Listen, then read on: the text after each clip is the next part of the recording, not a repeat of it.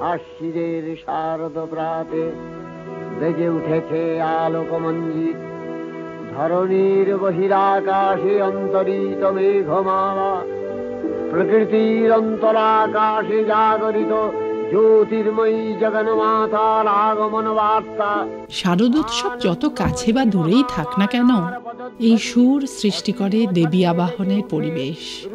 এনে দেয় উৎসবের আমেজ। অসুর দলনীর আগমন বার্তা। যুগ যুগ ধরে চলে আসছে একই ঘটনার পুনরাবৃত্তি।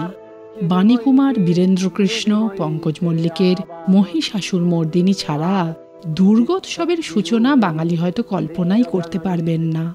আর মহালয়া মানেই যেন তাদের কাছে বীরেন্দ্র কৃষ্ণ ভদ্রের কণ্ঠস্বর। বীরেন্দ্র কৃষ্ণ ভদ্র, এক প্রতিভার নাম। লিখতেন বিরূপাক্ষ ছদ্মনামেও।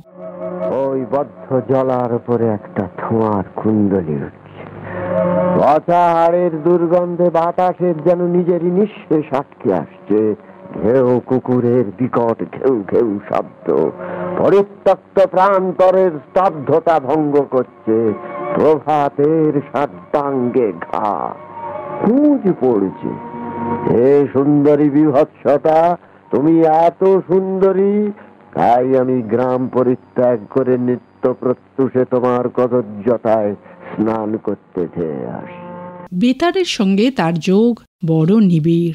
যদিও শোনা যায় শেষ জীবনে ভুগেছেন অর্থকষ্টে, সে যুগে অবসর ভাতা নিরবচ্ছিন্ন পাওয়া অনেক সময় খুব একটা সহজ ছিল না।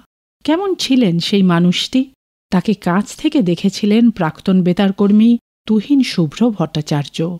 বিরূপাক্ষের জন্মদিনে তার কিছু কথা তিনি আকাশবাণী মৈত্রীকে শুনিয়েছেন। তারই কিছু অংশ। তখন কলকাতা বেতারের অফিস। একদিন দেখা গেল এক ভদ্রলোক বেতারেরই কর্মী। অফিসের দেয়ালে একটা নোংরা লেগেছে। নিজের মনে কাপড়ের খোঁট দিয়ে পরিষ্কার করছেন। পাশাপাশি যারা উপস্থিত ছিলেন একটু অবাক হয়ে গেলেন। একজন তার মধ্যে বললেন, আপনি পরিষ্কার করছেন? পাশ ফিরে বললেন ভদ্রলোক, যিনি দেওয়ালটা মুছছিলেন। আমার কাছে বেতার অফিস মন্দির। এই ভদ্রলোকই হলেন প্রভাত প্রতিম বীরেন্দ্র কৃষ্ণ ভদ্র। এর সঙ্গে আমার চাকরি জীবনে অনেক দিনই আলাপ ছিল, কথাবার্তা হতো এবং বেতারের কর্মী হিসেবে আমার জিজ্ঞাসা অনেক কিছু ছিল। তখনকার দিনের রেডিও সম্পর্কে অনেকগুলির উত্তর উনি দিয়েছেন। যেমন একদিন জিজ্ঞেস করেছিলাম, বীরেন্দা আপনি বলতে পারেন, অনেকে বলে যে কাস্টিং প্রেসের স্টুডিওয় বুথ ছিল। এটা কি সত্যি? একটু হেসে নিয়ে বললেন যে, দেখ, সেটা আমি বলব না। কারণ আমি যেটা দেখেছি, সেটাই তোকে বলব। একটা বড় পিয়ানো ছিল। সেটা বোধহয় এখনকার স্টুডিওতেও আছে। সেই পিয়ানোটার উপর দিয়ে রাত্রিবেলা ছোট ছোট ইঁদুর চলে যেত।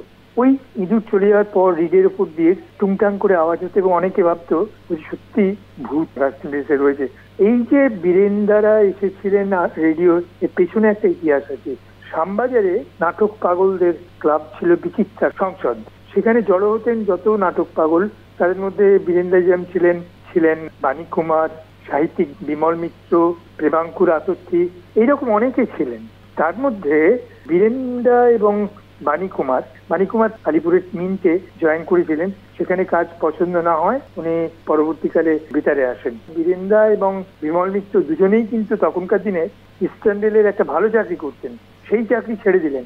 বীরেন্দা যেটা ছিল বেতারে ঢুকবো। বেতারে ওনার যারা সহকর্মী, তারা বলতেন, বেতারের ডালে ঝোলে অম্বলে বীরেন। এর একটা কারণও ছিল। অনেক অনুষ্ঠানে দেখা যেত, আর কেউ নেই। বীরেন ভদ্রই রয়েছেন। আমরা জানি মহিষাসুর মর্দিনীর সত্যকার বীরেন ভদ্র তা নয়। তাছাড়াও শিল্পী আসেনি, গান গিয়ে দিচ্ছেন বীরেন ভদ্র মহিলা মজবি সেখানেও বীরেন ভদ্র উনি নিজের একটা ছদ্মনাম নিয়েছিলেন, বিরূপাক্ষ। সে বিরূপাক্ষের আসরে উনি নানা রকম কৌতুকজনক গল্প বলতেন। ছিল নাটক প্রযোজনা। নিজে নাটকে অংশ নেওয়া।